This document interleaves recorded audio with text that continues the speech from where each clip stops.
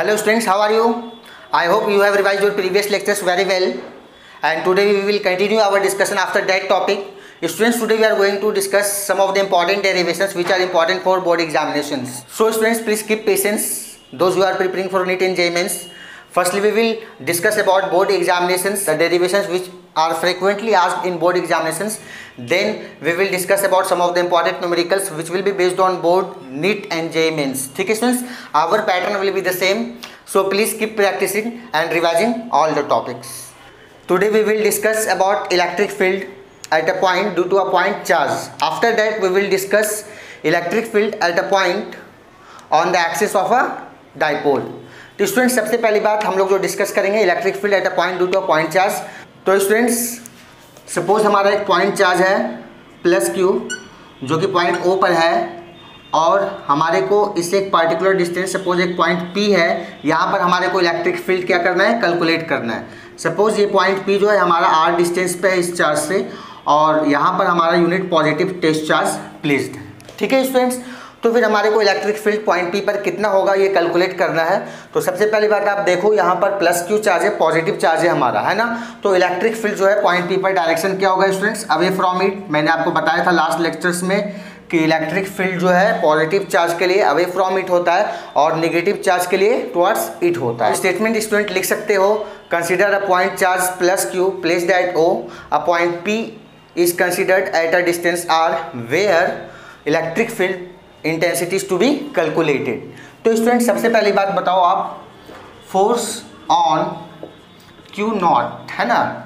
Q not पर आपका कितना फोर्स एक्सपीरियंस हो रहा है? तो आपको कुलम्स लॉ पर आपने देखा कि दो चार्जेस के लिए हमारा इलेक्ट्रिक फोर्स किस तरीके से कैलकुलेट करते हैं? तो एफ़ इक्वल्स क्या होगा स्टूडेंट्स के Q Q naught upon R square ठीक है स्टूडेंट्स फ़र्स्ट इक्वेशन अब जो है हमारा इलेक्ट्रिक फ़ील्ड कितना होगा students electric field at point P E F upon Q not आपने पढ़ा था लास्ट क्लास में इलेक्ट्रिक फ़ील्ड क्या होता है? Force experience by unit positive test charge ठीक है स्टूडेंट्स तो एफ़ की वैल्यू आप फ़र्स्ट इक्वेशन से पुट करोगे K Q Q not upon R square into one upon Q not Q not Q not हमारा क्या हो जाएगा स्टूडेंट्स कैंसिल तो हमारे पास क्या आने वाला है? के क्यू अपॉन आर स्क्वायर ये हमारा इलेक्ट्रिक फ़ील्ड का एक्सप्रेशन हुआ। आपको के की वैल्यू पता है। One upon four pi epsilon not Q upon R square तो स्टूडेंट एक पॉइंट चार्ज के लिए है ना? एक पर्टिकुलर डिस्टेंस पर कितना इलेक्ट्रिक फ़ील्ड होगा? ये हमारा एक्सप्रेशन होता है। One upon four pi epsilon not Q upon R square ठीक है स्टूडेंट्स इलेक्ट्रिक फ़ील्ड जो है हमारा, यहाँ पर आप देख सकते हो इन्वर्सली प्रोपोर्शनल है स्क्वायर ऑफ़ डिस्टेंस के और अगर हम ग्राफ की बात करें स्टूडेंट्स ग्राफ एग्जामिनेशन में आते हैं ड्रॉ करने के लिए, ठीक है? तो स्टूडेंट्स आप लोगों ने देखा यहाँ पर electric field at a point due point charge one upon four pi epsilon not Q upon R square मैं आपको बता दूँ, ये एक्सप्रेशंस आपके लिए इंपॉर्टेंट है अभी। बहुत सारे न्यूमेरिकल्स और डेरिवेशन करेंगे। उनमें हेल्पफुल है ये। और सेकंड ये वाला जो आपने पढ़ा तो आपके एमसीक्यूज में आ सकते हैं question which of the following correctly depicts the relation between E and r for a point charge ठीक है स्टूडेंट्स तो आप नोट कर लेना, ये ग्राफ भी एग्जामिनेशन में आते हैं आपके। Students now we will discuss electric dipole and dipole moment what is electric dipole? It is a system of two equal and opposite point charges separated by very small distance. तो इसका मतलब क्या हुआ students जब दो equal और opposite point charges बहुत ही स्मॉल डिस्टेंस से सेपरेटेड हो तो उन्हें हम लोग क्या बोलेंगे students electric dipole next topic students हमारा क्या है? इलेक्ट्रिक डायपोल मोमेंट तो what is electric dipole moment अब आप समझेंगे। हमारा एक चार्ज है माइनस क्यू और एक चार्ज क्या है स्टूडेंट्स प्लस क्यू ठीक है? और डिस्टेंस ऑफ़ सेपरेशन इन दोनों के बीच का क्या है? टू ए तो आप देख सकते हो दो पॉइंट चार्जेस है, एक माइनस क्यू और एक प्लस क्यू और डिस्टेंस ऑफ़ सेपरेशन क्या है हमारा? टू ए है ना? तो फिर डायपोल मोमेंट क्या होता है? It is the product of charge and distance between them तो हमारा दोनों चार्ज के बीच का डिस्टेंस कितना है? स्टूडेंट्स टू ए और चार्ज कितना है हमारा? क्यू अगर हम इसकी ऐसा यूनिट की बात करते हैं, जो कुछ इंपॉर्टेंट पॉइंट्स हैं, ठीक है? ऐसा यूनिट क्या होगा हमारा? चार्ज का ऐसा यूनिट क्या होता है? कूलम और डिस्टेंस का यूनिट क्या होता है स्टूडेंट्स ऐसा मीटर तो कूलम मीटर अगर हम डायमेंशनल फॉर्मूला की स्टूडेंट्स बात करते हैं डायमेंशनल फॉर्मूला तो हमारा dimensional formula electric dipole moment का क्या होगा स्टूडेंट्स ए टी एल ठीक है? आप ऐसे भी बोल सकते हो M zero L T A ठीक है स्टूडेंट्स तो डायपोल मोमेंट का हमारा ऐसा यूनिट क्या होता है? कुलम मीटर डायमेंशनल फॉर्मूला क्या होता है? ए टी एल एग्जामिनेशन में आते हैं कभी कभी है ना? तो परेशान नहीं होना है। नेक्स्ट अगर हम बात करें स्टूडेंट्स डायरेक्शन की बात करते हैं, है ना? तो इलेक्ट्रिक डायपोल मोमेंट का जो डायरेक्शन होता है हमारा, वो from negative charge to positive charge negative to positive dipole moment का डायरेक्शन स्टूडेंट्स तो डायरेक्शन क्या होगा students from negative charge to positive charge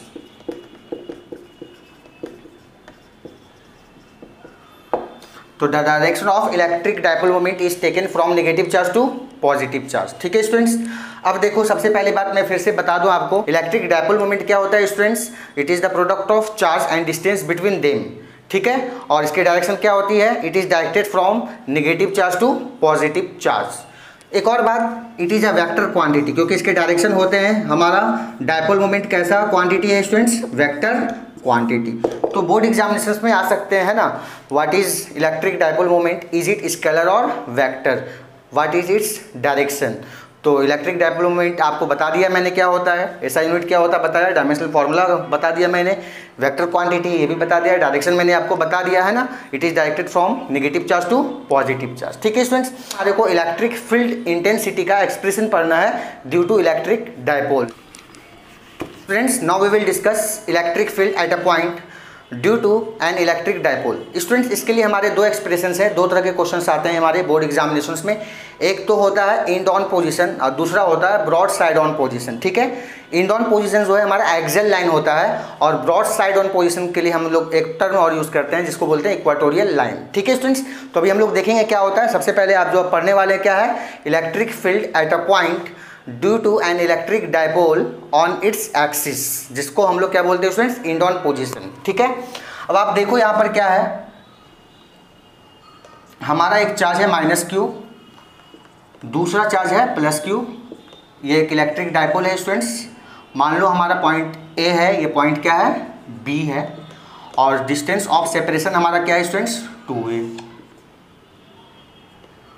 और वो जो है हमारा मिड पॉइंट है. ठीक है स्टूडेंट्स अब सपोज़ ये हमारा इलेक्ट्रिक डायपोल है और इससे कुछ पॉइंट पी मैंने कंसिडर किया, एक पॉइंट ठीक है? और इस पॉइंट पी पर कितना इलेक्ट्रिक फ़ील्ड होगा, हमारे को ये कैलकुलेट करना है। क्वेश्चन समझ में आया स्टूडेंट्स तो electric field at a point due to an electric dipole on its axis on its axis आप देख सकते हो, ये डायपोल है हमारा। तो डायपोल का एक्सिस आप इस तरफ़ भी ले सकते हो, इस तरफ़ भी ले सकते हो, है ना? तो हमने पॉइंट पी कंसिडर किया, और जो कि मिड पॉइंट से कितने डिस्टेंस पर है? आर डिस्टेंस पे है। ठीक है स्टूडेंट्स तो आपको डायग्राम क्लियर है। ए भी हमारा इलेक्ट्रिक डायपोल है। डायपोल मोमेंट पी हमने कंसिडर किया। डिस्टेंस कितना है हमारा? टू ए है। तो मिड पॉइंट से हमारा डिस्टेंस कितना होने वाला है? ए एंड ए ठीक है स्टूडेंट्स ओ ए और ओ बी हमारा ए हो जाएगा। पॉइंट पी की अगर हम बात करें, अब आओ, यहाँ पर हमारे को इलेक्ट्रिक फ़ील्ड इंटेंसिटी कितना होगा ये कैलकुलेट करना है। इसकी एक्सप्रेशन हमारे को फाइंड आउट करनी है। ठीक है स्टूडेंट्स तो सबसे पहली बात, यहाँ पर बी पर आप देखो पॉजिटिव है प्लस क्यू चार्ज है। तो इलेक्ट्रिक फ़ील्ड का डायरेक्शन क्या होगा? अवे फ्रॉम इट तो पी पर प्लस क्यू की वजह से जो हमारा इलेक्ट्रिक फ़ील्ड है, हमने क्या मान लिया? ई वन ए पर स्टूडेंट्स हमारा कौन सा चार्ज है? माइनस क्यू चार्ज है। ठीक है? तो फिर पी पर जो इलेक्ट्रिक फ़ील्ड का डायरेक्शन क्या होगा? टुवार्ड्स द चार्ज आपको मैंने बताया है प्रॉपर्टीज़ का ही यूज़ कर रहे हैं हम लोग। तो इसे हमने कंसिडर कर लिया ई e टू तो फिर यहाँ पर हमारा एंगल कितना होगा स्टूडेंट्स ई वन और ई e टू के अक्रॉस 180 डिग्री ठीक है स्टूडेंट्स अब अब सारी बात यहीं पर है। हमारे को एक्सप्रेशन किस तरीके से फाइंड आउट करना होता है वो हम देखेंगे। सबसे पहली बात आओ, आप डायग्राम से दे सकते हो from figure O A equals O B equals a ठीक है स्टूडेंट्स ए होगा। नेक्स्ट ओ पी हमारा कितने स्टूडेंट्स आर है। और उसके बाद अगर हम बात करें बी पी की बी पी है ना बी पी तो बी पी हमारा कितना होगा, आप देख सकते हो। इसको कैलकुलेट करना है हमारे को तो ओ से पी तक कितना है हमारा? चलो मैं आपके लिए लिख देता हूँ O P minus O B क्या हम इसे राइट डाउन कर सकते हैं? इस तरीके से डिस्टेंस निकालना है तो। अब आप बताओ ओ पी हमारा कितना है? आर है और ओ बी कितना है? ए है। तो आपने देखा बी पी कितना होने वाला है? बी पी ये डिस्टेंस हमारा आर माइनस ए ठीक है स्टूडेंट्स अब हम बात कर लेते हैं किसकी? ए पी की। है ना? ए से पी वाला डिस्टेंस तो ए पी कितना होगा स्टूडेंट्स आप देख सकते हो ओ पी प्लस ओ ए तो ओ पी हमारा आर है और ओ ए कितना है? ए तो आर प्लस ए तो स्टूडेंट्स आप लोगों ने देखा यहाँ पर हम लोगों ने डिस्टेंस किस तरीके से एज्यूम किया है, ठीक है? तो बोर्ड एग्जामिनेशन में ये क्वेश्चंस आते हैं सीबीएसई 2017 और 2013 में भी ये क्वेश्चंस आए थे, उससे पहले भी आए। तो फिर आप अगर बोर्ड एग्जामिनेशन दे रहे तो वहाँ पर आपको कुछ स्टेटमेंट्स जो हैं लिखने पड़ेंगे, ताकि उसके लिए भी आपको कुछ मार्क्स मिले, ठीक है स्टूडेंट्स तो क्या लिखेंगे हम लोग statement consider an electric dipole of dipole moment p. ठीक है students a point p is considered at a distance r from the midpoint of the dipole. ठीक है स्टूडेंट्स उसके बाद आप यहाँ से स्टार्ट करेंगे। अब देखो आगे क्या है। इवन की अगर हम बात करें, हमारा इवन क्या है स्टूडेंट्स इवन हमारा इलेक्ट्रिक फ़ील्ड इंटेंसिटी है। ठीक है? Let electric field intensity at point P due to charge plus Q at B of dipole. ठीक है स्टूडेंट्स तो हमारा क्या होगा students k q upon r minus a whole square ठीक है स्टूडेंट्स तो फिर आपने अभी पढ़ा था electric field at a point due to a point charge expression क्या था? के क्यू अपॉन आर स्क्वायर तो यहाँ पर भी प्लस क्यू की वजह से k q upon r square ही होगा, लेकिन इसका आर स्क्वायर मीन इसका डिस्टेंस क्या है हमारा? आर माइनस ए का होल स्क्वायर क्या बात समझ में आए स्टूडेंट्स इसी तरीके से हम लोग अगर बात करते हैं ई e टू की, ठीक है स्टूडेंट्स ई टू तो ई e टू हमारा क्या है? Electric field intensity at point P due to minus q. ठीक है स्टूडेंट्स? तो माइनस क्यू के वजह से पी पर जो हमारा इलेक्ट्रिक फ़ील्ड कितना है? ई टू है। आप देख सकते हो। तो फिर यहाँ पर क्या होगा? के चार्ज हमारा क्या है? Q upon distance square. Distance हमारा क्या है? बताओ। ए सी पी की ए पी है ना? और आर प्लस ए है। तो आर प्लस ए का होल स्क्वायर तो ई टू हमारा कितना आया students? K q upon r plus a square अब नेट इलेक्ट्रिक फ़ील्ड की बात करते हैं। नेट और रिजल्टेंट भी आप बोल सकते हो। Net electric field at point P point P पर नेट इलेक्ट्रिक फ़ील्ड ठीक है स्टूडेंट्स तो ई e हमारा क्या होने वाला है? E one plus E two electric field students कितना होगा? Equals E one plus E two next अब हम देखने जा रहे हैं। ठीक है स्टूडेंट्स तो, तो रिजल्टेंट इलेक्ट्रिक फ़ील्ड जो है हमारा कितना होगा? Root under E one square plus E two square plus two E one E two cos one eighty degree अब आप इसे सॉल्व करो। तो क्या आया हमारा? E one square plus E two square plus two E one E two cos one eighty की value कितना होता है स्टूडेंट्स माइनस वन ठीक है? E one square plus E two square minus two E one E two तो आप देख सकते हो ये a square plus b square minus two a b के फॉर्म में है। तो आप क्या बोल सकते हो? E one minus E two का होल स्क्वायर फिर स्क्वायर रूट से कैंसिल हो जाएगा हमारा तो E one minus E two तो रिजल्टेंट इलेक्ट्रिक फ़ील्ड हमारा ई इक्वल्स क्या है students E one minus E two आया। अब आप क्या करोगे? वैल्यू पुट करोगे ई ई वन ई वन हमारा कितना है? आपने देखा है k q upon r minus a का होल स्क्वायर था और माइनस ई टू क्या students k q upon r plus a का होल स्क्वायर है। समझ में आ रहा है स्टूडेंट्स अब क्या करेंगे? के क्यू दोनों में हमारा तो आपने कॉमन ले लिया। और क्या हुआ? One upon r minus a का whole square minus one upon r plus a का होल स्क्वायर नेक्स्ट स्टेप आप क्या करने वाले स्टूडेंट्स आपको पता है? एल्सियम लेना है आपको। सबसे पहली बात क्या आया था हमारा के क्यू एल्सियम लोगे, क्या होगा स्टूडेंट्स डिनोमीटर में आर माइनस ए का whole square into r plus a का whole square r minus a square r minus a square cancel हो जाएगा, क्या बचने वाला है हमारा? आर प्लस ए का होल स्क्वायर सिमिलरली इस तरफ़ कितना बचने वाला है हमारा? आर माइनस ए का होल स्क्वायर ठीक है स्टूडेंट्स अब क्या होगा स्टूडेंट्स हमारा? के क्यू ठीक है स्टूडेंट्स आप इसे क्या करोगे? ए प्लस बी का whole square a minus b के होल स्क्वायर में क्या करोगे? ब्रेक करोगे. तो फिर ये हमारा क्या हो जाएगा? R square plus a square plus two a r ठीक है स्टूडेंट्स माइनस है तो माइनस हमने लिख दिया। इसे ब्रेक करोगे तो r square plus a square minus two a r ठीक है students r divided by r minus a का whole square into r plus a का होल स्क्वायर अब क्या करेंगे आगे स्टूडेंट्स के क्यू अब आप देख सकते हो यहाँ पर हमारा कौन कौन सा टर्म कैंसिल होने वाला है। अगर आपको नहीं समझ में आ रहा तो फिर भी मैं आपके लिए एक स्टेप पूरा कर देता हूँ। आर स्क्वायर है प्लस ए स्क्वायर है प्लस टू ए आर है minus plus minus r square हो जाएगा। Minus plus minus a square हो जाएगा और minus minus plus two a r हो जाएगा और डिनोमिनेटर में हमारा r square minus a square का होल स्क्वायर अब क्या है हमारा, देख लो, आर स्क्वायर और r square cancel, a square और ए स्क्वायर कैंसिल। हमारा नेक्स्ट स्टेप क्या होगा students k q two a r plus two a r. कितना आया students four a r upon r square minus a square का whole square. एक बात और मैं बता दूँ, अब क्या होगा? के है आप स्टूडेंट्स फोर ए को क्या लिख सकते हो? टू ए इंटू टू तो चलो मैंने टू लिख दिया। क्यू इंटू टू ए लिख दिया। I into r upon r square minus a square का होल स्क्वायर क्या इससे रिज़ल्ट में कोई फ़र्क पड़ेगा? नहीं पड़ेगा। तो फिर आपने फोर ए आर को इस तरीके से लिखा टू इंटू टू ए है ना? टू ए मैंने किसके साथ ले लिया? क्यू के साथ और टू को बाहर कर दिया। ठीक है स्टूडेंट्स ऐसा क्योंकि अभी आपको पता चल जाएगा।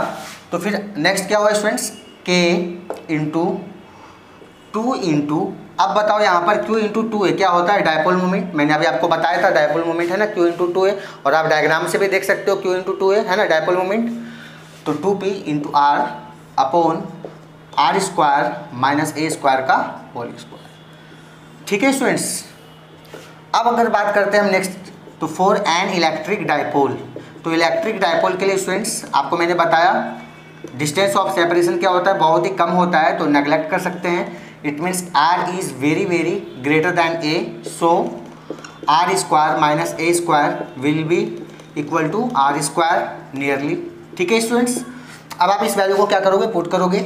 तो E equals k two p r upon r square ही होगा स्टूडेंट्स आर स्क्वायर ठीक है स्टूडेंट तो समझ में आया आप लोगों को? इस वैल्यू को हमने क्या लिया? आर स्क्वायर इलेक्ट्रिक डायपोल के लिए r is very very greater than a अब क्या करोगे? पुट करोगे तो क्या आने वाला है? K two p r upon r की पावर फोर हो जाएगा। आर से कैंसिल होकर कितना आने वाला है? आर क्यूब आ जाएगा हमारा। तो E equals K into two P upon R cube. या तो फिर आप कह सकते हैं one upon four pi epsilon naught two P upon R cube. तो स्टूडेंट्स आप लोगों को ये एक्सप्रेशन आपको क्या करना है? थोड़ा याद रखना पड़ेगा, ठीक है? कि ई e इक्वल्स कितना है हमारा?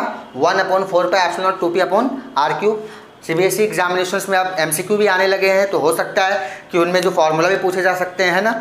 Which of the following is correct relation for electric field at a point on the axis of electric dipole ठीक है स्टूडेंट्स तो एमसीक्यू के लिए भी आप फॉर्मूला इंपॉर्टेंट है और बाकी जो आप न्यूमेरिकल्स करेंगे, उनके लिए तो इंपॉर्टेंट है ही। तो आपने देखा किस तरीके से होता है? फाइव मार्क्स का क्वेश्चन था हमारा। सीबीएसई 2017 में भी आया था 13 में भी आया था, उससे पहले बहुत बार आ चुके हैं। तो आपके एग्जामिनेशन के लिए डेरीवेशन इंपॉर्टेंट है। ठीक है।